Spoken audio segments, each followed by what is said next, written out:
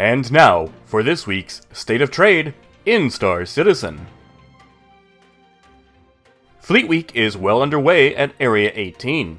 Servers have been hammered as an onslaught of players attempt to take advantage of the Free Fly event, as well as the plethora of rental ships on display. Today's offerings include the Anvil Carrack, a colossal exploration vessel that is currently second to the Caterpillar when it comes to trading. With 456 SCU of cargo space, players who are willing to risk trading during this time are encouraged to try one out for rental.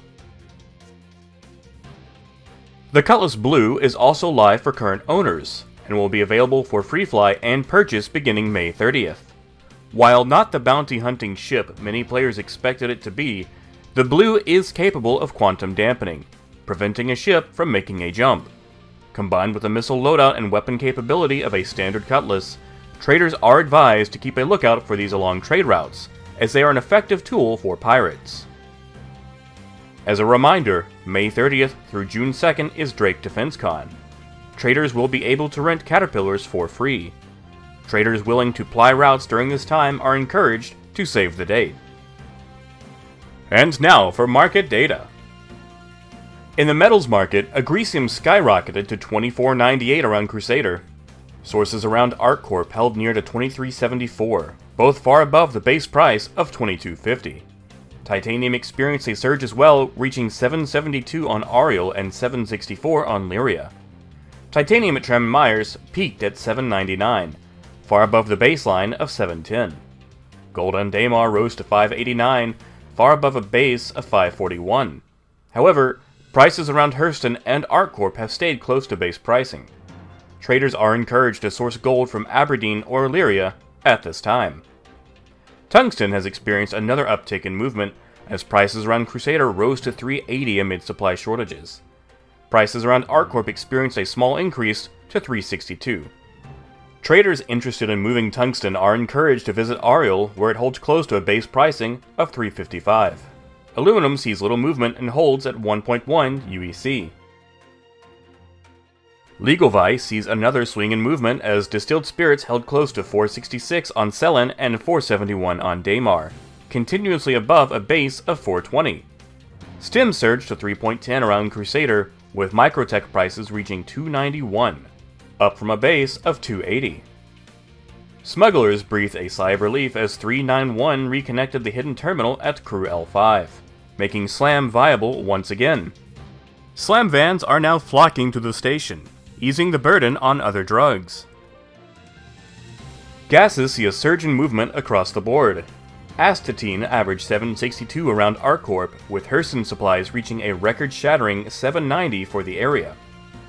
Yela deposits averaged 773, all far above its base price of 7 UEC. Fluorine rose to 247 on Lyria, with Crusader deposits holding firm at 235. However, sell prices at Deakins and Hickes have both hit lows of 280. Traders are encouraged to bring fluorine to major ports for the time being, if they wish to sell for the default pricing of 295. Chlorine rose to 140 around ArcCorp, with other deposits keeping to the baseline of 130. Hydrogen peaked at 0.97, up from 0.90 around Crusader, and even iodine sees a small price hike around ArcCorp, reaching 0.37 from a base of 0.35. Mineral saw Laranite experience a brief slump leading up to Fleet Week. The Marvel Mineral actually saw base pricing of 24.10 at Bezdek for several days, despite confirmed movement. However, prices peaked at 27.79 once Fleet Week launched, with all locations experiencing the usual supply shortages. Diamond continues to experience price inflation of about 625 around ArcCorp, with deposits on Magda holding lower at about 590. Deposits at Tram and Myers on Cellin still hold firm at a base of 585.